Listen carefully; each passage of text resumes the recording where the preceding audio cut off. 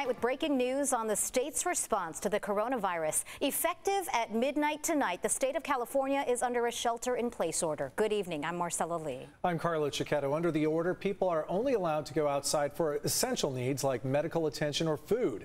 News 8's Lamore Abrams is live at Sharp Memorial Hospital with the governor's dramatic escalation in tone. Lamore? Well, Carlo and Marcella, tonight the governor's decision comes after his grim forecast on coronavirus, predicting that more than half of Californians will be infected, hospitals will be overrun, and we will need thousands of new beds here in the state of California. It is a worst case scenario, he says, unless Californians act now and just stay at home.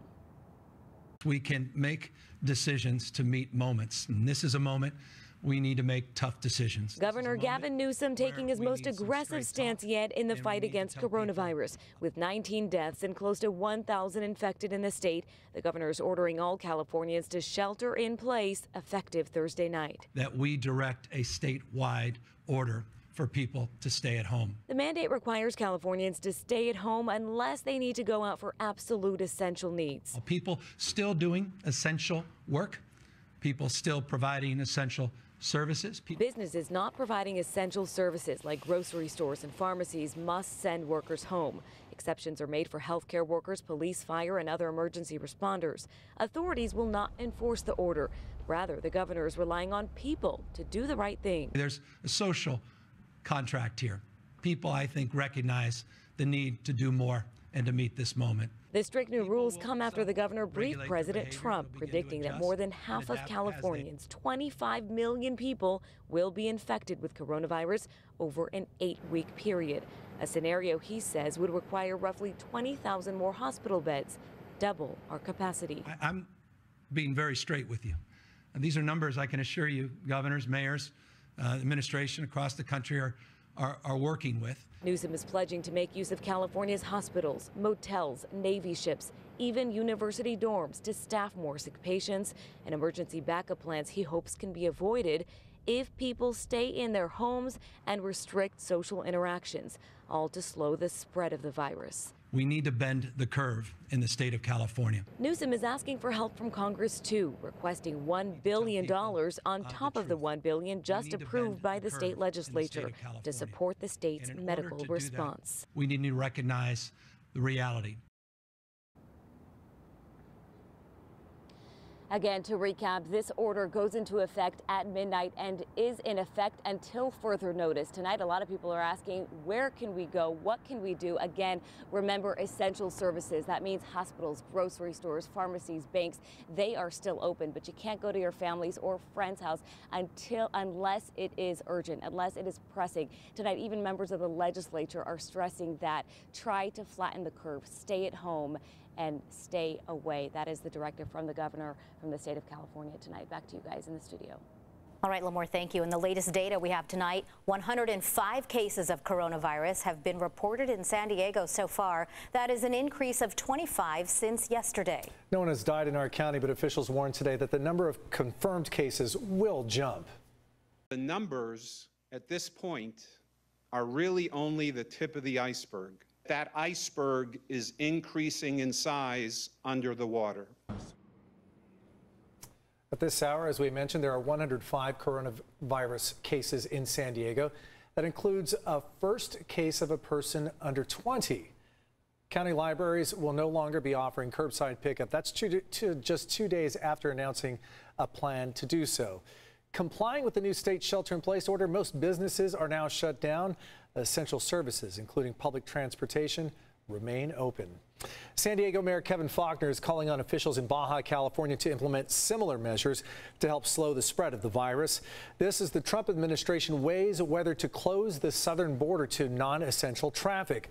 While seemingly practical, activists say the move would have disastrous effects, especially on the global economy. California, like Baja California, are huge agricultural states.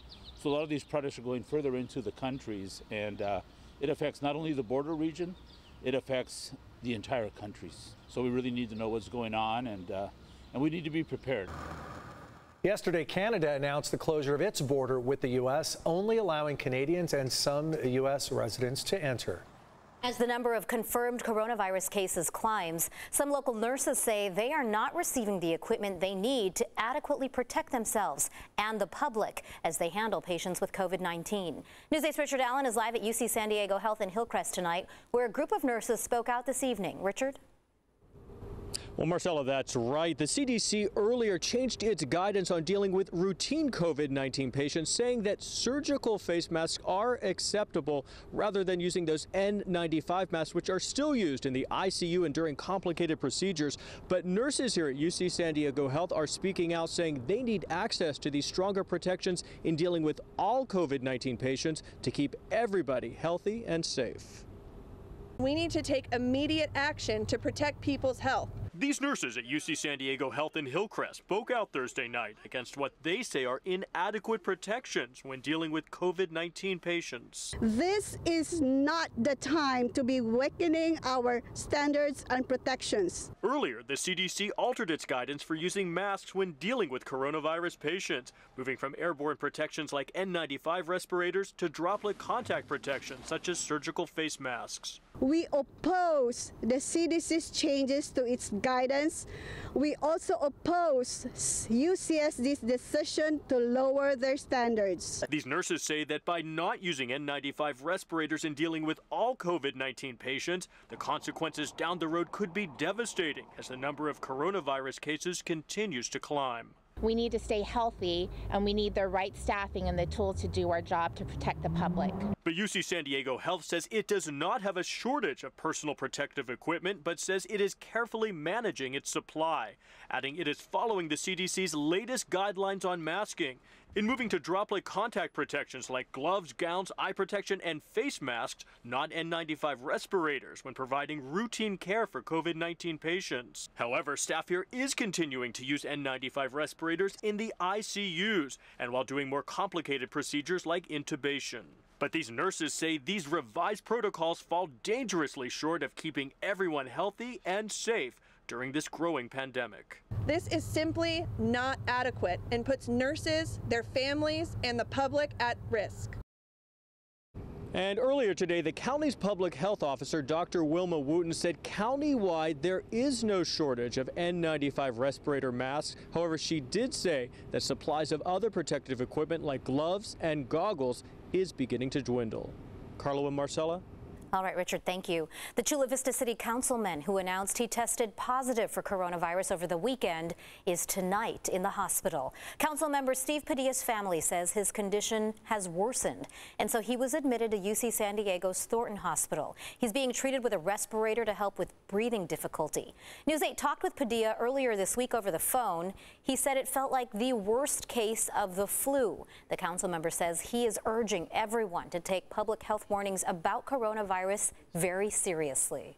And as the number of coronavirus cases across the country continues to surge, now passing 14,000, experts say those numbers will only continue to increase. Skyler Henry brings us the latest on the national effort from the White House. President Trump said there may be a glimmer of hope in the fight against the coronavirus. I think it could be a game changer. On Thursday, the president announced that two existing medications had been identified as potential COVID 19 treatments. One is an experimental Ebola drug. The other, hydroxychloroquine, was developed to treat malaria, but has been used as an arthritis medicine since the 1950s. It's been around for a long time, so we know that if it if if things don't go as uh, planned, it's not going to kill anybody. Both drugs are now being tested in clinical trials. If they're effective, Mr. Trump says they will be fast tracked for FDA approval. Optimism was in short supply elsewhere. The State Department issued a rare level 4 advisory telling U.S. citizens they should avoid traveling outside the country. Those already overseas are urged to return at once. The number of coronavirus deaths in Italy now surpasses the total in China, where the virus emerged late last year. Chinese authorities, meanwhile, reported no new infections on Thursday, the first time that's happened since the outbreak began.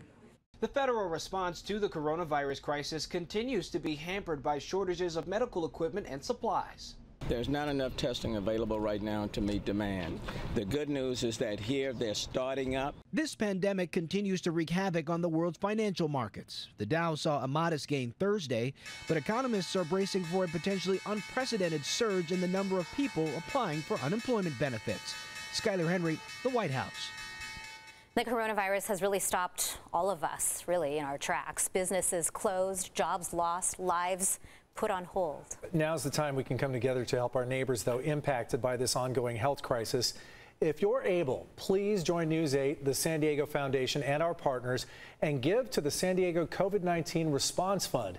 Your donation will help provide assistance with food security, rent, utility bills, and income replacement, as well as things like gap funding and no interest business and community loans. 100% of donations will go to organizations helping San Diegans, so the money is being kept local. San Diegans impacted by COVID-19. We ask you to please donate now at sdfoundation.org slash COVID-19 or on the News 8 app, and it's just such an encouraging sign when they announced this fund. They had a $1.3 million purse already, I mean, in the fund, and so far I think it's over 4 million. So really the response has been quickly. tremendous. And it, we're going to need every penny of it and much more before this is all over.